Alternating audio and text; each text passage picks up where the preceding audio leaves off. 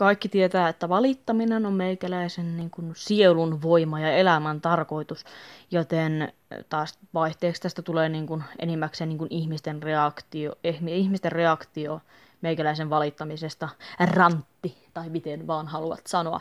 Ja mä voin sanoa ihan valmiiksi, että mä oon ihan vitun hiiltynyt tällä hetkellä, joten mä saatan ruveta huutamaan tai kiroilemaan todella paljon, joten jos et pidä sellaisesta, niin suosittelen vaihtamaan videota samoin tein. Mutta jos te tykkäätte kuunnella tämmöistä suoraa vittuilua, mitä niin kuin, mä vaan puran mun mielestäni, koska mun pää muuten räjähtää, niin toivottavasti nautitte tästä tämmöisestä pienestä jutusta. Ja sitten jos te yhdytte minun kanssani tähän samaan mielipiteeseen, niin propsit sulle, voit laittaa kommentin ja kaikkea kivaa ja jee jee. Ja ehkä sä saat sitten, mä saan siitä jonkunnäköisen semmoisen niin seksuaalisen mielihyvän, kun sä oot samaa mieltä mun kanssani. Ja sitten mä voin aina sille yhtyä ja olla sille mukavilla mielin ja ehkä lykkään mun valmiiksi hidastunutta itsemurhaani yhdellä päivällä, joten kuitenkin. Mä yritän selittää että mahdollisimman selkeästi, ettei kenellekään nyt jää niin kuin auki, mistä helvetistä mä puhun. Eli tota, sanotaan, että on olemassa vaikka Facebook-ryhmä, jossa on kaikennäköisiä valituksen tai mielipiteen aiheista saa puhua. Ja joku laittaa kommentti tai niin kuin postauksen, että mikä teidän mielestä on paras maksalaatikko, maksalaatikko lisuke. Itse tykkään puolukkahillosta ja joku tulee sinne, että no itse tykkään perkele rusinasta, että rusina on se ainoa hyvä lisäke siihen, että ilman rusinoita ei ole maksalaatikkoa. Ja sitten joku on silleen, mä en tykkää rusinoista, mä laittaisin siihen mieluummin vaikka porkkanot. Ja sitten joku tulee silleen, että no kuka helvetti laittaa porkkanot maksalaatikkoon, itse en ole ainakaan ikinä pistänyt.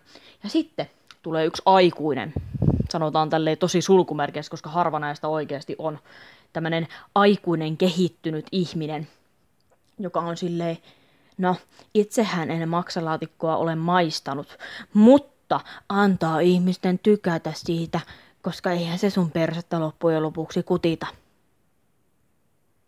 Ja sitten siinä vaiheessa niin kun koko tämä keskustelu niin, niin kun hiljenee ja kaikkia vituttaa, koska kaikki tietää tasan tarkkaan, mikä vitun idiootti on mennyt kommentoimaan ton vitun paskan ja se pilaa koko homman. Kaikki on silleen, no ehkä se on sitten oikeassa. Ja sitten se niinku pilaa kaiken. Ja sitten kaikkia vaan vituttaa, kun kaikki olisi sanonut puhua siitä ja taistella siitä, että onko kuuluuko porkkana vai kuuluuko maksalatikkoon, mikä vittu siihen kuuluu, vai onko maksalatikko edes ruokaa. Että niinku, perkele.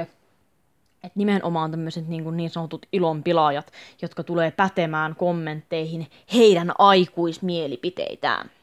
Ja mä niin kuin ymmärrän, että kun ihminen kasvaa, niin totta kai tämmöinen niin kuin vitun antamisen spektrumi on jotenkin erilainen, se muuttuu toisin kuin lapsella välttämättä. Esimerkiksi jos vaikka että esimerkiksi jos joku sun kaveri haukkuu jotain sun lempimobiilipeliä paskaksi, niin mä en usko, että hirveän moni aikuinen nyt suhtautuisi siihen mitenkään helvetin aggressiivisella tavalla, ellei sitten ole joku vitun autisti.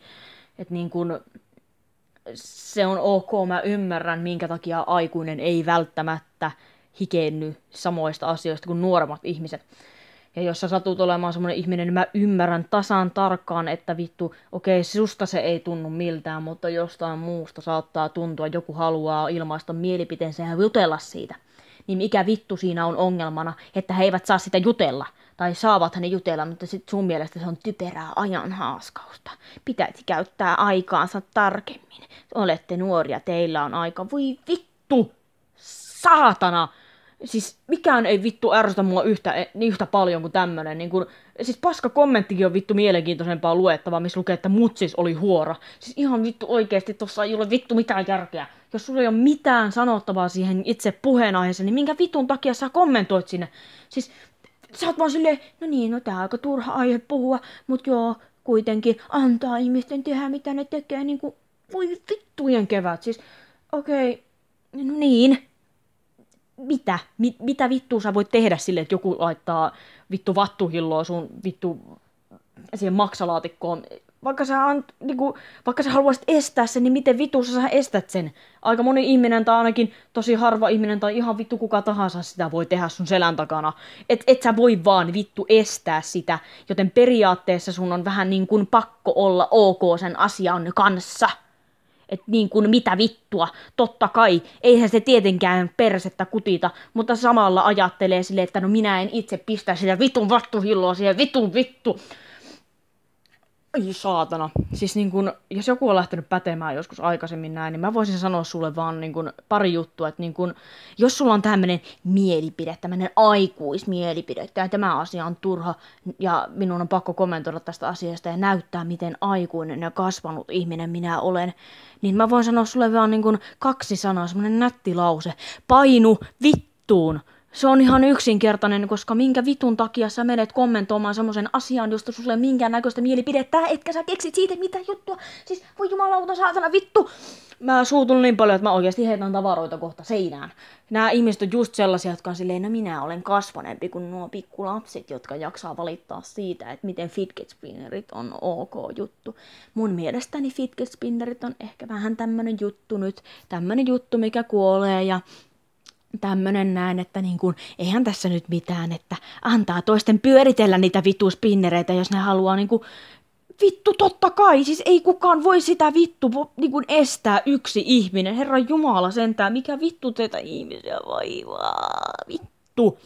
Tää on niin typerä puheenaihe, mutta nimenomaan sen takia mä vittuun, koska se on niin pieni asia, mikä pitäisi käydä niin kuin kaikkien ihmisten mielestä ainakin kerran elämässä. Ja niin kuin, eikö vittu niin kuin, niin kuin mahalaisjärkikin vittu sanoo, että jos sulla ei ole mielipidettä tähän asiaan, niin minkä vitun takia sä kommentoit. Se on sama asia, kun sä laittat siihen vittu kaksoispiste DD. Siihen ei ole mitään vastattavaa, se ei anna mitään uutta, se ei tee mitään uutta. Ei kukaan saa siitä mitään irti, niin mitä vittua, minkä vitun takia se pitää sitten vittu lähteä hypöttää jotain ihan turhaa paskaa.